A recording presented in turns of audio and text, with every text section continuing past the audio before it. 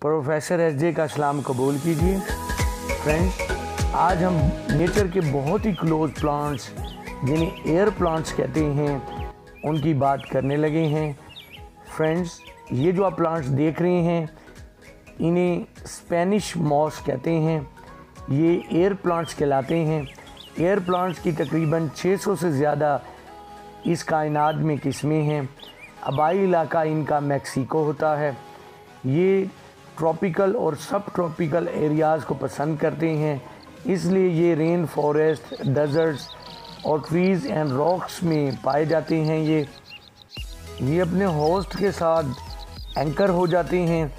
Parasites تو host سے اپنی خوراک بھی لیتے ہیں، لیکن چونکہ یہ پیراسائٹس نہیں ہوتے، یہ موائسچر اور اپنے نیوٹرنٹس جو ہیں، وہ اپنے لیوز کے ذریعے سے لیتے ہیں، نہ کہ یہ روٹ سے لیتے ہیں۔ ان کی عام طور پہ جو روٹس ہوتی ہیں، وہ اینکر کرنے کے لیے ہوتی ہیں اور اس طرح سے یہ اینکر ہو جاتی ہیں۔ ہر قسم کی ایک خاص کیئر ہوتی ہے۔ اگر ہمیں ان کی کیئر کرنی آ جائے تو پھر ان سے زیادہ ایزی پلانٹس کوئی نہیں ہوتے۔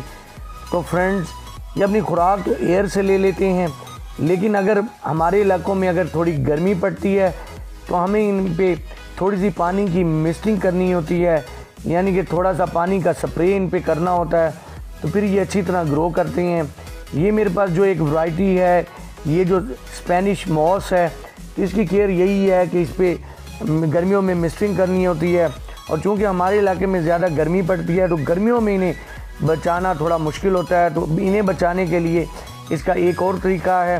وہ یہ ہے کہ اگر آپ ایک جو ہے ایکیریوم کا ایک باؤل ہے، وہ لے لیں، اس میں کچھ پتھر کے ٹکڑے رکھ لیں اور وہ رکھنے کے بعد پانی ڈال دیں اور اس پہ انہیں لٹکا دیں، تو یہ اچھی طرح سے گرو کرتے ہیں۔ یہ دیکھ رہی ہیں کہ یہ نیچے ان کی یہ گروتھ ہو رہی ہے۔ تو یہ عام طور پہ جو سیڈ سے گرو کیے جاتے ہیں، وہ پلانٹس سلو گروور ہوتے ہیں اور جو پلانٹس ڈوین یا کٹنگ سے لگائے جاتے ہیں، وہ پلانٹس جو ہیں، وہ تھوڑے زیادہ تیزی سے گرو کرتے ہیں، لیکن زیادہ اچھی کوالٹی جو ہے، وہ سیڈ سے گرو کی ہوئے پلانٹس کی ہوتی ہے۔ اور اگر ہم ان کی صحیح کیئر کریں تو ان پلانٹس پہ بھی بلومز آتے ہیں۔ تو یہ بھی جیسے نیچرل پلانٹس ہوتے ہیں اور ہمارے کومن پلانٹس ہوتے ہیں، اسی اسی طرح یہ جو ہے بلومز بھی کرتے ہیں۔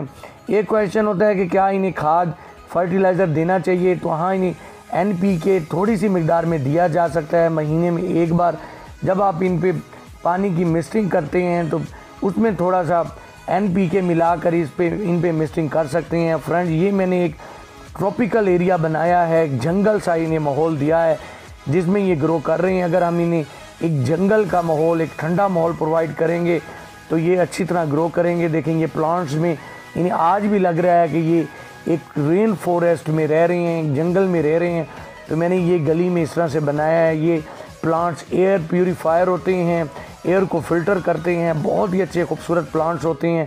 تو فرینڈز اگر آپ کو بھی یہ پلانٹس ملیں تو آپ اپنے گھر میں انہیں گرو کیجیے گا۔ فرینڈز میرے چینل کو سبسکرائب کیجیے گا ویڈیو کو لائک کیجیے گا۔ اپنا بہت سارا خیال رکھیے گا۔ اللہ حافظ۔